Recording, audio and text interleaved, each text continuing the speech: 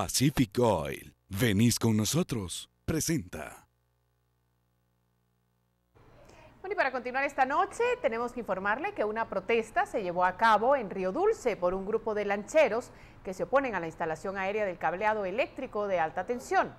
Así es, y la manifestación acuática fue una novedosa forma de protesta en los cuatro kilómetros sobre el área del Parque Nacional de Río Dulce, partiendo del puente y terminó frente al castillo de San Felipe piden a la empresa transportadora de energía de Centroamérica que detengan el proyecto, que pretende la instalación de dos torres de 85 metros de altura. Cada una será ubicada en los extremos del río, con una distancia de 600 metros, con seis líneas de cableado de casi un millón de voltios en total. Estamos viendo impactos a nivel visual, dañando el paisaje, eh, el impacto al comercio, al turismo, a la salud.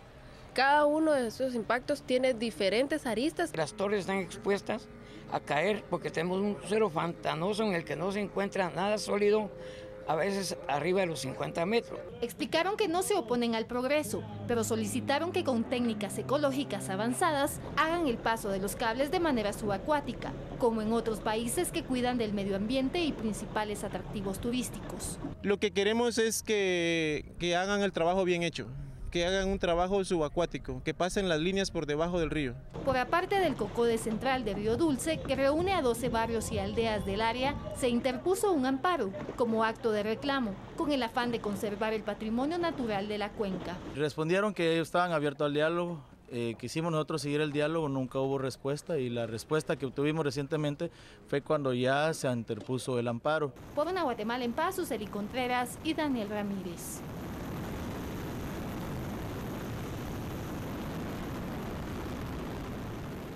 Bueno, como escuchábamos, el proyecto se encuentra detenido tras un amparo provisional que la Corte de Constitucionalidad le otorgó a los vecinos de las comunidades afectadas que han solicitado la instalación del cableado bajo el agua. Por su parte, la empresa transportadora Energía Centroamericana encargada de la obra se pronunció de la siguiente manera nosotros como adjudicatarios de la licitación hicimos los estudios de impacto ambiental y presentamos a consideración del Ministerio de Ambiente y Recursos Naturales seis alternativas de cruce del río Dulce. Decidieron que la alternativa a ejecutar en el cruce del río Dulce sea a través de dos torres y un cruce aéreo.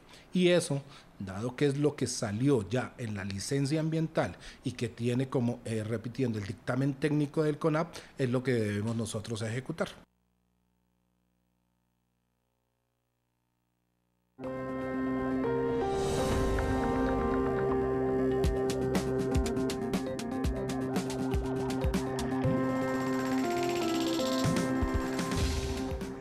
Más noticias cuando regresemos a Noticiero Guatevisión en su tercera emisión. Protestas contra la disposición que obliga a usar chaleco naranja. A su vez, Italia aún no sabe el número exacto de los que fallecieron en una trágica, pero muy trágica cuestión de naufragio. Ya regresamos.